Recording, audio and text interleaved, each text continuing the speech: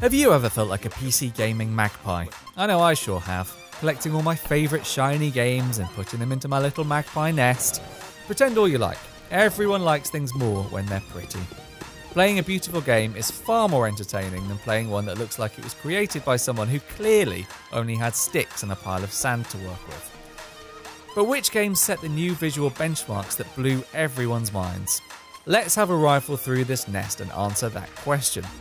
Ah, but before I allow you into my collection of shiny things, make sure you like and subscribe and hit that glimmering bell.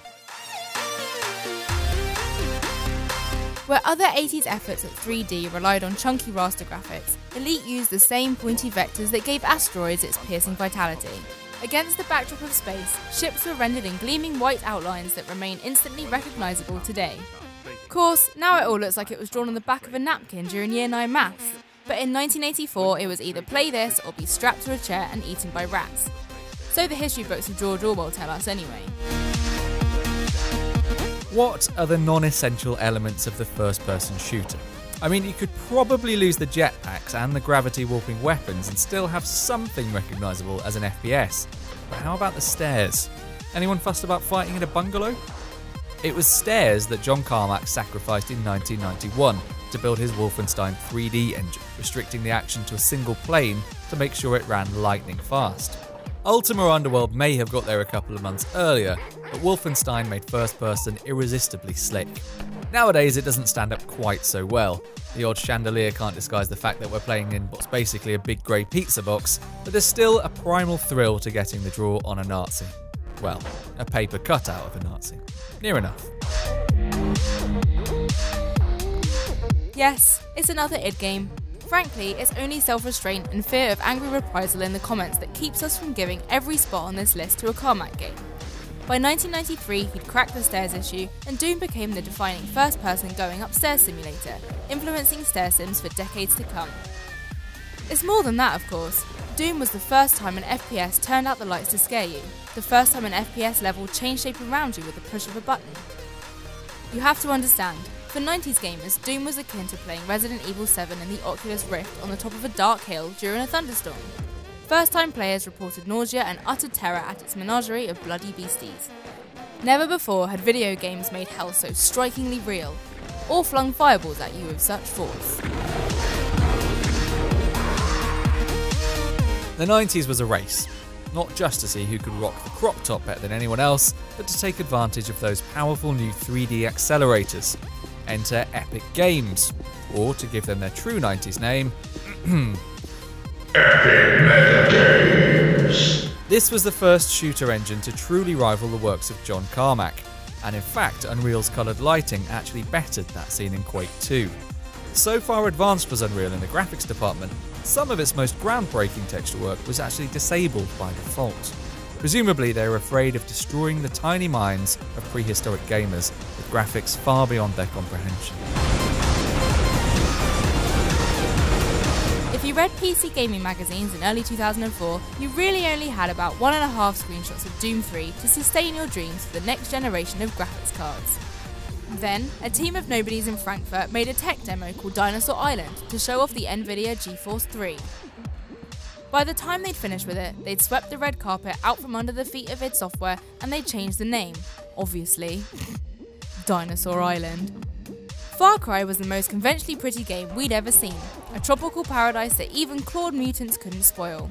It also birthed CryEngine, a name that remains synonymous with technological ambition even now, as the foundations of Star Citizen. Not bad for a game that ends as, and I'm quoting directly from the Wikipedia synopsis Jack escaping just before the volcano, in which Krieger's main offices were located, erupts and both he and Val are cured from the mutagen and manage to sail off in a boat. The greatest love story ever told, that one. Next from Crytek, who have an embarrassing habit of putting themselves in the name of all their games you might have noticed, was Crysis. Though the title was terrible, it successfully took over from Far Cry as the game you installed immediately after buying a new PC. Or should I say, the game you overenthusiastically maxed out, only to sheepishly turn down the shadows after about 40 seconds. There's no surer way to burst that new rig ego, and let's face it, all our PCs need to be taken down a peg once in a while. although not literally, of course. All those pegs and screws are there for a reason, and removing them risks voiding your warranty. Outcast is often remembered as the game that popularised voxels, which, with a quick Wikipedia search, reveals is wrong. Is the same true for everything else we thought we knew? If you need to take a small existential breather to question your assumptions, please feel free to hit the pause button. We'll be here when you get back. And exhale. Everyone alright? While you were gone, I did a bit of research and discovered that Outcast graphics were brought about by a combination of raycasting and a texture mapping polygon engine. They handled those distinctively lumpy landscapes and made everything in them look like the bee's bollocks. At the time, it truly felt like falling into a parallel world. The black hole threatening Earth could wait while we potted around in this one. Stalker was irradiating minds long before its release, seeping into the public PC gaming consciousness with promises of open world emergence, far beyond anything we'd witnessed before. It ended up being delayed more times than a commuter train, but even four years late, Stalker's release managed to reset our expectations. It offered decaying beauty and wide open arenas of possibility. We didn't mind so much that those possibilities were dependent on keeping a wildly inaccurate rifle from veering off on the horizon, mind you. What a horizon, eh? Stalker's subtitle was Shadows of Chernobyl, but might as well have been Shadows Our Boss. In 2007, PC gaming simply didn't look better than when you were looking down the barrel of your flashlight in Stalker, waiting for some radioactive horror to stumble out of the dark corners. What a lovely looking horror, eh?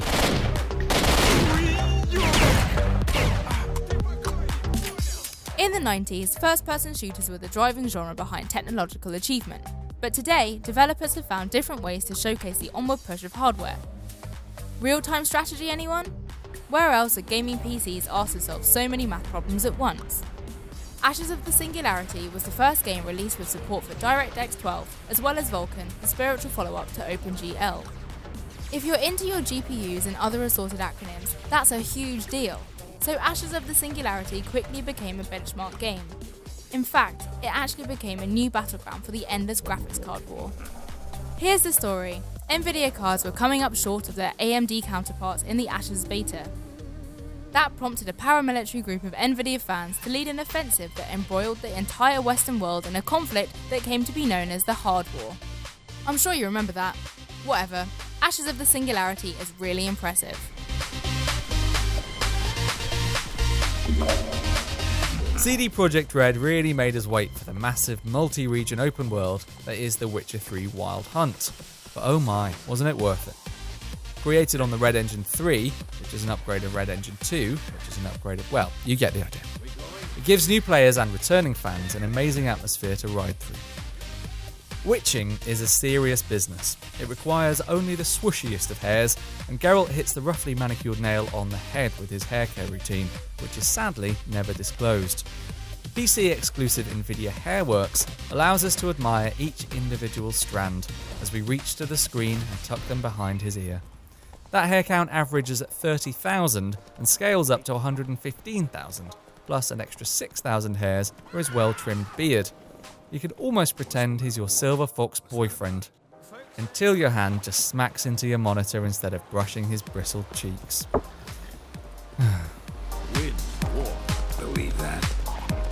believe something. So there we have it, the shiniest games that ever existed, or some of them at least. Let us know which sparkling games we missed off our list, or which you think were just too dull to make the cut, and make sure to like and subscribe. Just don't touch my shiny things on your way out, alright? Alright?